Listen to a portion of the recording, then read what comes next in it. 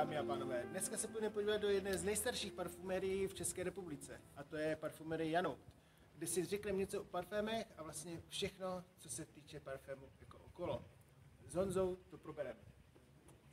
Tak pojďte za náma.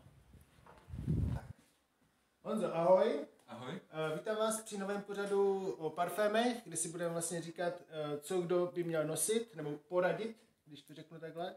A představím si některé značky, které, které vlastně ty, uh, tato parfumerie má, nebo které by doporučil Honza. Protože Honza je čtvrtou generaci Janoutu, kteří uh, mají uh, tuto parfumerii, která je založena od roku 1908.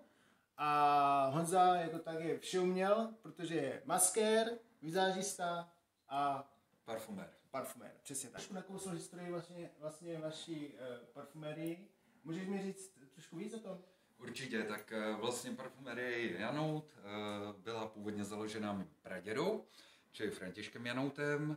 Je to teda ten rok, jak si říkal, 1908 a Uh, ono to bylo divoký. Děda nebo praděda vůbec nechtěl původně parfémy dělat. On vlastně původně na tomhle místě stála tiskárna, takže měl být tiskář. A nějak se mu to nezamlouvalo a později jako v rámci let tak zjistil, že to je hrozná výhoda, protože začal dovážet sem luxusní vůně, které tady v té době vůbec nebyly. Mm-hmm. Takže nakonec se k tomu propracoval k těm vůním, musel se hodně toho naučit o těch vůních, jezdil vlastně i do Francie na různá školení a vlastně celkově tu prodejnu pojal tehdy, na tehdejší dobu prakticky moderně. Takže když vlastně jsem si připravil i nějaké fotky, které vlastně jsou z těch let, sice ne z toho roku 1908, tam jsme bohužel nedochovali mm. fotografie, ale dochovaly se nám třeba z roku 33, kde tady to vlastně, co vidíš, je původní logo, mm. parfumerie F. Janout. Vlastně tenkrát to opravdu, jak nebylo moc toho k dostání vlastně v tom 33. roce, tak vlastně to je jednodušší. Až později, vlastně o rok později, tak uh, se předělalo celkově logo, uh, díky panu Kulhankovi, který předělal celkově logo, což byl známý zdejší výtvarník. A předělal to logo tak, že tehdy bylo možné už to mít i v neonech. Čili mm. Kladno mělo první neony, a tím pádem i vlastně ta klientela se měnila k té trošku luxusnější, protože praděda, i když třeba měl mídla, které byly te- na tehdejší dobu levnější, tak vlastně měli krásný luxusní třeba obal. On i balil, měl vlastní papíry, měl vlastní uh, i flakony, takže uh, v té době to byl takový jakoby nadstandard. Ale i pro standardní ženy. Nebylo to zase nějak jako, uh, že by se řeklo předražený, ale on byl vlastně, začínal tady se řadou luxusních značek, jako je třeba Guerlain, tady rozjel Chanel, a to byl jako první v Čechách, kdo tohle to vůbec rozjížděl, tyhle ty zahraniční značky. A vlastně tady na té fotce z toho roku 35 třeba je vidět i jaký k tomu byly krásný třeba reklamy k fasádě. Vlastně, když se podíváme, tak tady třeba na té další fotce, tam je i sám pan zakladatel, mm. přesně uprostřed. A bohužel později došlo k tomu, že jeho syn nemohl už nastoupit sem, protože vlastně byla válka během válečného období. No potom přišli komunisti, ty to vlastně celý zabavili, skonfiskovali. Naštěstí teda te, na tehdejší dobu tady udělali obchod s drobným zbožím, který se jmenoval Kleopatra a byla to taky parfumérie. Takže jako to bylo jediný štěstí, celá rodina vlastně tady bydlela v nájmu. A potom až teprve v roce 93, to už praděda vlastně byl dávno po smrti, tak to převzal můj táta, který vlastně to vede do dneška. A tento celý vlastně ten obchod musel předělat. Úplně změnil vlastně ty původní interiéry, které byly ještě zastaralý. Ano. A v podstatě vypadalo to jako pořád eh, ta tendence té první republiky, ano. tak on to vlastně zmodernizoval s tím, že se samozřejmě změnilo i logo na Jejanout, protože je Jiří. A což v mém případě potom nebude problém, protože logo se nebude měnit. Zůstane stejné. Zůstane ano? stejné a vlastně zmodernizoval to a, na, a navázal znovu tu tradici těch v podstatě luxusních značek i těch vlastně nových. Mhm. A Honzo, a ty jak dlouho se tady eh, pohybuješ v tomhle prostředí? Tak já bych mohl říct, že prakticky celý život, protože od mala vlastně, co si pamatuju, tak jsem se tady pohyboval eh, mezi prodavačkama, se rodičema, takže v podstatě od mala, ale celkově ten jakoby nástup toho, že mě to bavilo, byl s tou vizážistikou, v podstatě díky tomu já i měl k tomu blízko. Mhm. Takže ty vůně vlastně znám od mala řadu těch výrobců. Samozřejmě jsou i výrobci, kteří už eh, buď nevyrábí nebo skončili. Tak to je bohužel smutný, ale ten svět jde dál a ten vývoj a vlastně jsou nové značky, takže teď spíš i hled- vyhledávám nové značky, nové možnosti. Já si dokážu představit Honzu, jak chodí do školy a radí holkám, jaké parfémy si mají vzít na sebe na rande. je tak? V podstatě jo, protože když eh, vlastně, kdykoliv jsem měl třeba nějakou ono stačila i ta malá violka, tak jsem se navoněl a hned každý, co to je, co to je, to voní skvěle, takže to bylo takový zase, že ty lidi to chtěli prostě. Mhm. To neznali, jak se říká. Honzo, prosím tě, dobře, eh, já jako normální spotřebitel, tak eh, já mám vždycky takový problém v tom, aby jsem viděl vlastně, jak se rozdělou parfémy. Jsou tam parfémy, že jo, parfumérské vody a toaletní vody a aftershave. Prosím tě, vysvětlíš mi mezi tím rozdíl, protože já když se dívám třeba na internet, tak vidím, že ta toaletní voda je levná oproti parfému. Můžeš mi to vysvětlit? Nebo nám? Určitě, určitě to můžu vysvětlit. Eh, ono to, eh, celková ta klasifikace voní je trošku složitější. Jsou samozřejmě parfémy, to jsou úplně eh, ty nejčistší, je tam nejvíc těch voných esencí a je tam vlastně eh, vysoké zastoupení. Takže eh, oni by, by měli vydržet prakticky nejdéle. Potom jsou vlastně parfémované vody, které vlastně potom na internetu třeba ve zkratce jsou EDP. A to jsou vlastně pořád, uh, se to klasifikuje jako parfém, i když těch voných složek je tam o něco míň, než u toho parfému. Potom jsou právě ty toaletní vody na internetu EDT a ty EDTčka, nebo my tomu říkáme EDTčka, tak vlastně ty mají ještě nižší zastoupení těch voných látek, takže oni nevydrží tolik a hlavně mají to, že se eh, dávají oproti parfému a parfémovaným vodám, tak eh, se dávají na oblečení. Aha. Zatímco parfém a parfémovaná voda se dávají na kůži. Potom jsou samozřejmě ještě aftershavy a eh, další jakoby ty odnože, jako jsou deodoranty, mídla můžou být, eh, jsou eh, tělová mléka a sprchové gely, ty už vlastně mají těch voných složek méně a jsou to taky produkty na tělo. Mhm. Ty si říkal, že parfémy a parfumérské vody nebo parfumérské vody se dávají na kůži.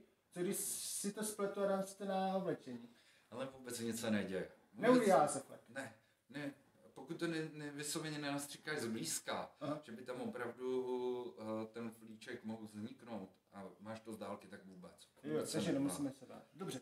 Přátelé, tak teď jsme si řekli nějaké základní informace ohledně parfému, nebo jak se dělí vlastně tyto vůně. Eh, Teď byste se mohli podívat nějaké vůně, jako, co bys, co, jestli máš tady, vidím, že tady máš nějaké připravené, že byste se mohli podívat, jestli máš eh, parfémy, parfumérskou vodu a toaletní vodu. Máš to tak rozdělené, nebo Nemám. nemáš? nemáš? Nemám to rozdělený, já to mám rozdělený jako dámské a pánské vůně.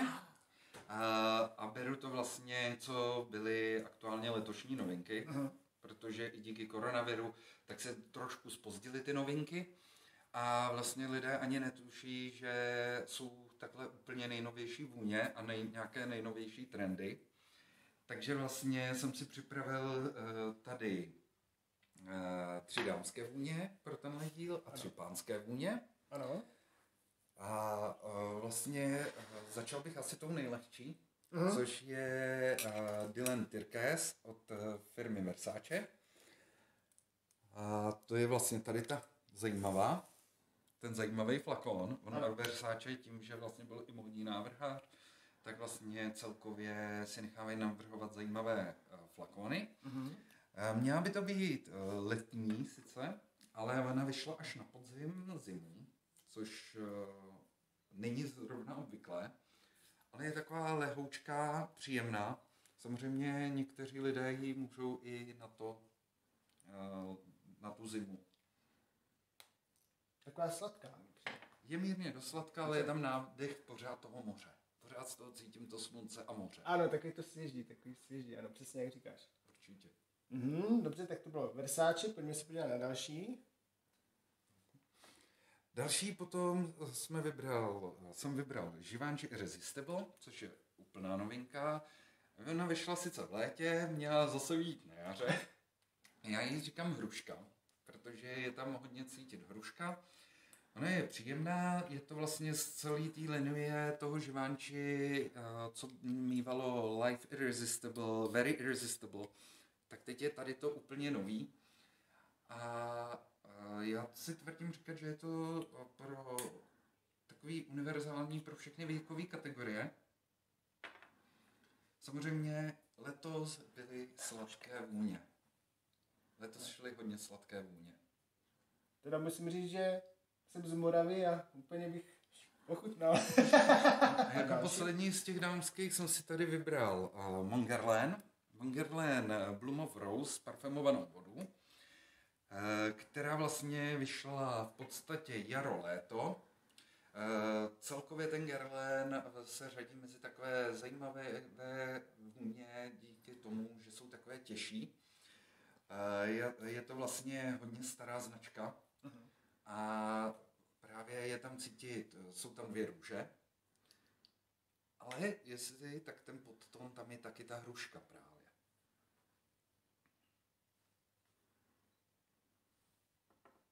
No spíš cítím ty růže. Jak jsi řekl ty dvě růže, mně se té hrušky. Hmm, zajímavá vůně, dámy. Myslím si, že se to dá, samozřejmě ta vůně je vhodná i jak na to léto, tak i na tu zimu. Právě díky tomu, že obsahuje vanilku, což je hodně taková těžká esence, která vlastně dodá té vůni, ještě podpoří tu růži i tu hrušku a vlastně ona voní stále. Tak, a, takže to byly dámské vůně. Pojďme se podívat na pánské vůně. Vidím, že tady máš takové tři krásné flakony, nebo dvě krásné flakony, takové jako normální. Pojď mi říct o, ně, o nich nic. Něco. Takže první, co bych jsem si vzal, je tady ten Mont Blanc parfumovaná voda. Eh, je to úplná novinka, teď vyšla na podzim.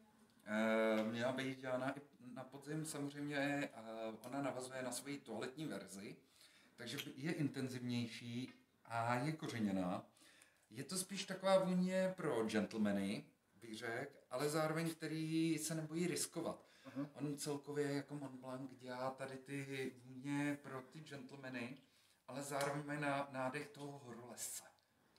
Jako, když si vybavím Mont Blanc, tak si představím toho horolezce a k němu klidně tuhle tu vůni. To vlastně... Ale samozřejmě i pro takového biznismena, který se nebojí třeba riskovat. Mm-hmm. Třeba bankéř, jo, nebo finančník. Určitě. Tak, Obchodník. Tak ty by se ti měli zlít od hlavy až patě. Souhlasím. Krásná vůně. Úplně vidím to, jak si říkal, toho roleste, jak vyleze na ten Mont Blanc, dělá takhle, ten vítr ho ošlahne a je cítit. Tak. Potom jsem si tady vybral parfumovanou vodu od milionu, uh-huh. respektive parfém přímo. Je to od firmy Paco Rabanne, která je samozřejmě známá, tahle ta vlastně zlatá cihla, ta už vyšla v několika vlastně verzích. Tohle je zrovna parfém. Je to zase odnož silnější původní toaletní vody.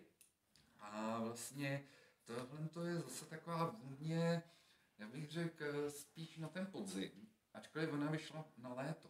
Ona vyšla na léto, ale na mě je třeba těžší, a spíš třeba na tu zimu, ale ten flakon teda musím říct, že k tomu chlapovi prostě patří.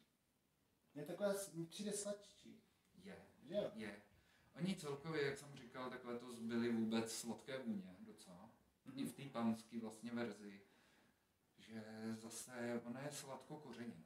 Taková i trošku Indie. Orient, Indie, ano, přesně, jak říkáš. Jo. A čím to je, že jsou sladké? Eh, teď, protože oni každý rok se snaží přijít s něčím novým a samozřejmě oni tím, že tohle je parfém, tak je to zintenzivněla ta toaletní voda, což znamená, že vždycky se tam přidá uh, nějaká ingredience, která je výraznější mm-hmm. a tím podpoří vlastně tu intenzitu té původní toaletní třeba vody. Tak a pojďme se podívat na A třetí. poslední, eh, to tady mám od Jeana Paula Gaultiera vlastně a eh, to je parfumovaná voda a eh, ta vyšla teda už na jaře. Eh, Díky vlastně její i dámský verzi, tak eh, vyšla eh, na jaře a ona je taková opravdu hodně sladká. A tím, že je Gautier, tak ten má vysloveně zase typický tyhle ty torza. Buď eh, i v té dámské verzi, anebo v té pánské verzi vysloveně torza, že jsou i takový, mm, jak bych to řekl, eh, pro ty muže i pro ty ženy jsou takový lákavý. Jo, podle I flakonu. ten flakon, Mhm. právě. A zase, jedná se o sladší vůni. Ano, ale přijde mi, že z těch tří, co si nám teďka představil pánských, je nejslabší, mi přijde. Nejslabší? No, mi přijde jako taková neví, málo výrazná. Teda nejvíc byl ten milion. To bylo jako, to měl grády. A potom ten Mont a ten, a ten, Říkám, každému voní to třeba trošku jinak. Na tobě třeba ta vůně bude málo výrazná, nebo pro tebe, ale na mě bude hodně. a čím to je? A čím to je, to bych nechal do dalších dílů, aby jsme divákům vlastně Aby jsme diváky navnadili, přátelé. Takže se